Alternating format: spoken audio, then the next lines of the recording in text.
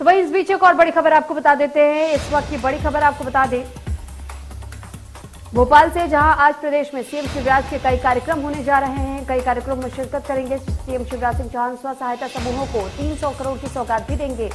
तो बड़ा दिन आज का माना जा रहा है। जैतगांव का जन्मदिन मनाते हुए नज़र आएँगे सीएम शिवराज सिंह चौहान और साथ ही नर्मदापुरम में नर्मदा जयंती समारोह में शिरकत भी करेंगे सीएम शिवराज।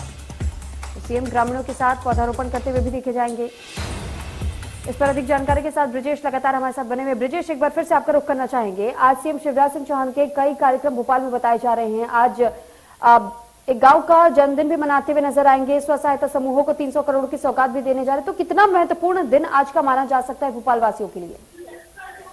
देखिए सिर्फ़ एक कार्यक्रम जो है वो भोपाल में आयोजित होगा और इसमें स्वयं सहायता समूह की जो महिलाएँ हैं उनसे उनको 300 करोड़ रुपए की लोगों की राशि का वितरण मुख्यमंत्री करेंगे। लेकिन सीएम की जो सबसे खास कार्यक्रम है वो भोपाल में नहीं उनके पैतृक गाँव उनका जो विधानसभा क्षेत्र है तो ग्राम जैत का जो पैतृक गाँव है उसमें कार्यक्रम है और उसमें जैत की जयंती मनाई जाएगी यानी गाँव का जन्मदिन जो है वो सीएम आज मनाते हुए नज़र आएँगे। पूरे दिन मुख्यमंत्री अपने गाँव में बिताएँगे अपने गाँव के लोगों से चर्चा करेंगे। इस दौरान ग्राम सभा का भी आयोजन किया गया है।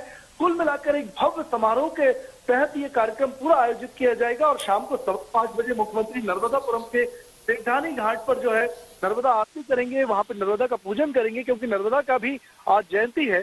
और यहाँ पर देर शाम तक रहेंगे रात को भोपाल वापस पहुँचेंगे। ठीक है। चलिए बहुत धन्यवाद आपका ब्रिजेश तमाम जानकारी हम तक पहुँचाने के लिए।